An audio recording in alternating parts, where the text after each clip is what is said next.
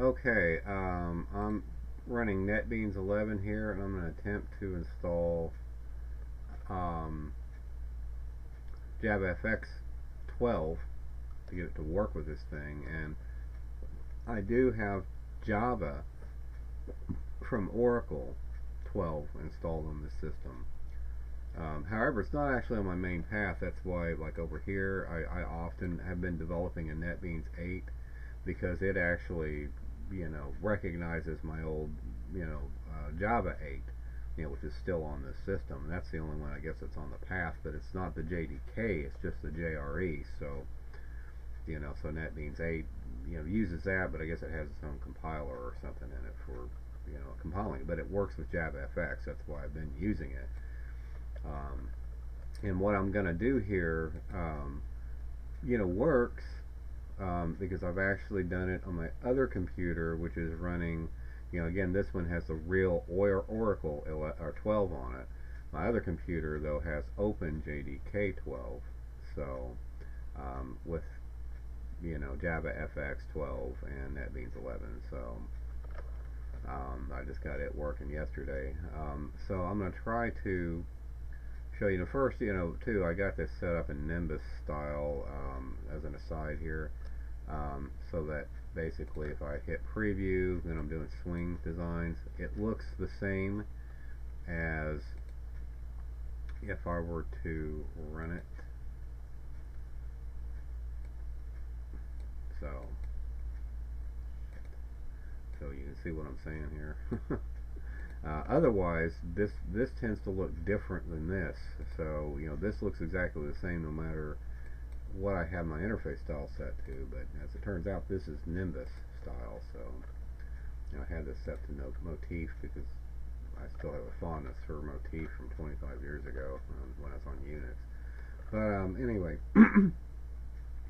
um, the point is though is that I'm going to show you how to set up JavaFX, and hopefully it'll work on this. I don't know because I haven't done it yet. So, uh, and I am going to be following, you know, these guys' website here, the OpenJFX people, you know. Um, but their instructions, again, I tried this on my other computer like a month ago and gave up because I just couldn't figure it out. They're just, you know, I'm not that, you know, still pretty new to NetBeans, but I was real new back then. Um, so I just had to give up on it and go.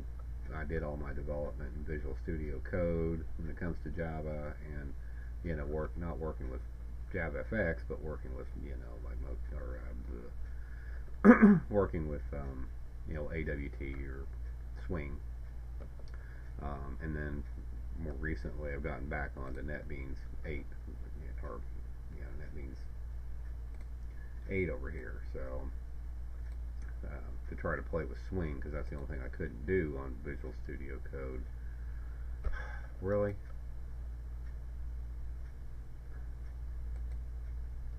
Okay. Um, but anyway, yeah, I'm going to try to follow these instructions here. But basically, the first thing you do um, is you go in and go to the library section. Okay, and firstly, let me pause the video. Okay, now this is the directory that my um, OpenJDK uh, is installed. Actually, it's version 11. I guess I think on my other computer I have 12. I'm not sure. But at any rate, you know, this is version 11, so it should be less buggy. Um, so, but yeah, this is where we're going to be. Okay, but so you go to libraries. Okay, and I gotta basically grab this directory by copying it. Uh, I don't know if that'll do me any good though. Um, Okay, so a new library, uh, library name, let's call it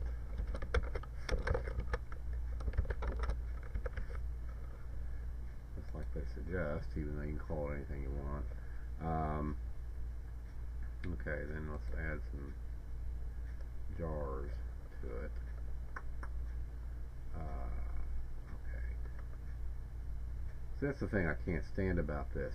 Mean, these idiots develop software, okay, for, for developing other software, and do they have the ability to copy and paste a path in here? No, they don't. Not as far as I can figure out anyway. Um, see, less details, you know, home, that just takes us wherever. And, uh, but yeah, I mean, I cannot copy and paste a fucking path in here. You know, and this isn't the only development, you know, software development program that does that. And what's this mean? What are these folders? Hell, I don't know. It doesn't look like these people have their shit together. So, one of the reasons I'm still not really totally sold on this open source stuff, although I've seen closed source stuff that's not much better. But, uh, still, this is, you know, really crappy. Um, so I got to go figure out where that fucking thing is and try to hunt it down. And you guys have got to suffer through that. So, um, well, hell, I'll just pause it. You know what I'm trying to do, basically. Okay, I'm closing in on. And by the way, it has nothing to do with, you know, with the fact that I've got this, uh, you know, this particular style set up here, um, this Nimbus style. Um, you know, some of these bugs. I mean, another problem I have too is that if I like grab one of these tabs and rip it off, uh, good luck trying to put it anywhere. Uh, I mean, it took me 10, 15 minutes to fucking figure out how to get this output window put where I want it. Because, you know, you, you grab that tab, like, up here, but the actual window will be down here. Okay, so, you know, trying to actually get it to fucking plop down where you want it is next to impossible. Anyway, um, but yeah, as far as this folder is concerned, even version 8 does over here does the same damn thing. Um, you know, you can't paste a path into it. Um, but anyway, I'm closing in on it here. Um, okay, oh, well, it's libraries. Wait. Okay, so select all, but do not select the zip. Supposedly that'll cause a problem. But in add jar, files to it and hit OK. Um, now, now, the next thing they tell you to do in their little thing, you know, their little uh, guide there is to start a new project. Um, they say Java Ant and just a Java application. They said do not use like a Java FX um, because that will, I don't know, it just won't work properly or something. Um, so anyway, let's do that, and you know, I just leave it at that. And what the hell? Um, and keep in mind, I have not done this on this computer yet. And like I said, this is running the actual Java here, but I have gotten it to work with the Open Java on the other computer. And this is Windows 10 Home Edition. The other computer has Windows 10 Pro on it. so, um, and the uh, you know the method I'm going to use here is pretty similar to the video I made too about uh, IntelliJ and setting it up, and I did that on my other computer um, a week or two ago, and, it worked. Um, but this is similar. Okay, so anyway, we got our little application as I suggested. Um, now that's not going to do us any good because it's not a JavaFX application. Now let me go and try to find one. Um, J text, that's a OpenJDK, let's see. Now this is that Java T point, which is okay. I mean, they've got okay tutors. It's um, trying to learn Java with it. Um, it's not great though. Their explanation's lacking. Their English is kind of broken in a lot of areas, but it's still, it's not a bad set of tutors. You know, um, I, I wouldn't advise that it's your only tutors, but it's it's not bad. And some of the stuff's a little dated, but most of it seems to work. Believe it or not. I don't know if it's a testament to Java or their tutors or what, but um, okay, but yeah, let's see if I can find a, I don't know about Glow, um, I don't know, I've never tried this one. Mm, I don't know if that'll be exciting, but let me see, yeah, it has, eh, it has enough in it. I, I've never, again, tried this application, so I might be taking a chance here but I can just always copy and paste one that I know works um, into it. Um, okay, rotation example. Um,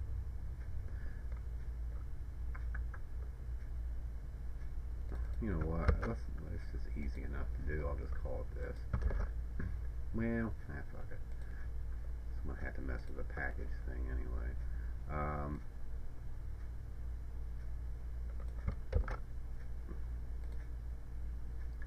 yeah, because they call their name is here. So, um, I'll over the Java doc stuff.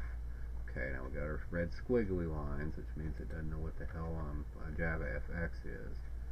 Um, let me grab the extends application part. And copy down to there. Uh, yeah.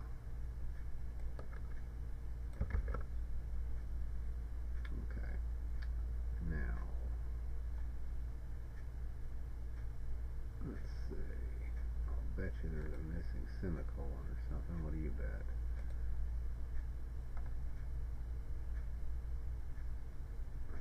Void main string. What the hell?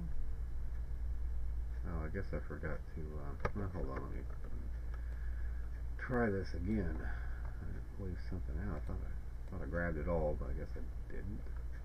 Um, I don't know. I, extends application. Okay. Alright, good. Looks like it worked this time.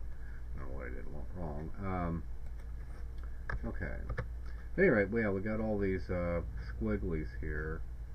Um, I'm not quite sure. Method does not override or implement a method because it doesn't recognize anything. That's why. Okay. Um, now, like I said, of course, we, we can't run this right now. I mean, it'll it'll just fuck up.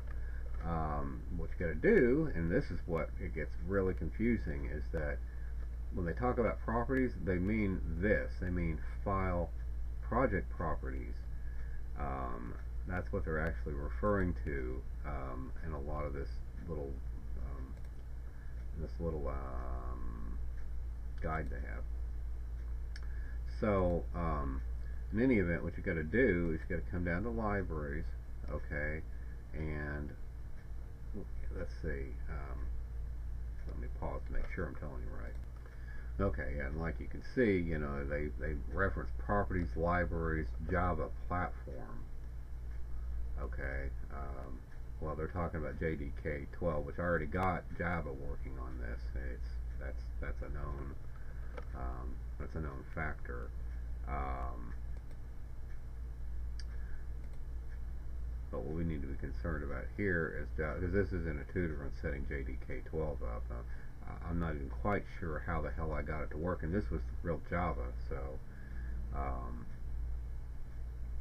and on the other one, I think it just recognized it too uh, when I installed NetBeans after installing Java. Um, but I can't remember for sure, but it seems like that was the case. Although my other computer still doesn't work with some of the basic. For some reason, I can't get like some of the, you know, like the application I showed you earlier. The the, you know, this this application, I can't get that sucker to work um, for some reason on the other computer. It keeps throwing weird errors, but works fine on this one.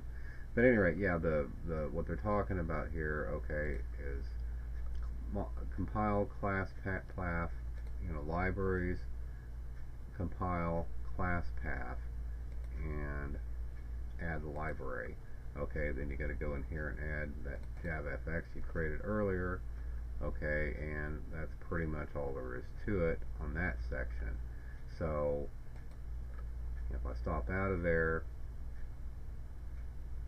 voila, you know, all your, your squiggly lines disappear. So, but the thing is, we're not done yet, because if you try to run this right now, uh, damn it, wrong, ran the wrong thing. Yeah, ran that other program. Yeah, because I have that. I don't know why I didn't run this one. Uh, okay, it's Java application one, right? Okay. I don't know. My other one doesn't work this way yeah, so it's build failed, you know, so it doesn't, uh, we're not done yet, basically. So, um, what you got to do, and you'll have to do this, as far as I can tell, you know, every time you create a project. So, but anyway, you know, you got to go down here, God damn it! Th- these fucking people need to fucking design a goddamn website better. This is fucking bullshit. Every time I click on this, a fucking graphic pops up. fucking bullshit. Learn to fucking design a website, assholes. Um, see. Uh, application class. Okay, and they're talking about their example project here. Now this right here is what we need to do. The libraries run module path add library, and we're basically going to do the same thing. Um, you know, run module path, okay, add library, and add that same set to it. I mean, it looks like you could automate this whole damn process, but we'll see. Maybe you can. I don't know. Um, there we go again. I mean, I, this doesn't happen on other websites. These idiots have their hotspots spread all over the fucking place. Fucking god damn it. fucking ridiculous. Um, anyway, last step, you know, is you got to go because it still won't run. Um, you know, we can try it. Um, to bring that same thing back up again, but you'll still get an error. You know, um, so I'm going to go back to project properties. Okay, and you got to take this thing here, and you're going to be sticking it in the you know properties run section in the VM part of it, just like they show. You know, but they're talking about this run here. Okay, and that's why it gets a little confusing too. And again, since the windows don't exactly match, it can be you know a little puzzling. Uh, but anyway, for good measure, I also add. Um,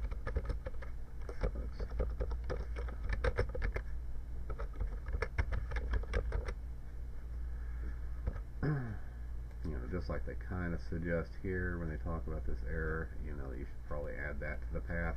That's what they mean. So I just put that in there. I don't know if it's necessary or not, but it might be. So um, just for good measure, it doesn't hurt, I don't think. Um, okay. Now it supposedly will run.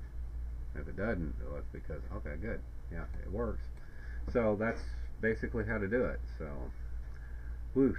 You know, I'm glad to see that work because I didn't know if it would work or not. You know, this is a different version of Java and a different computer that seems to work differently, um, even for the same program. So I don't know.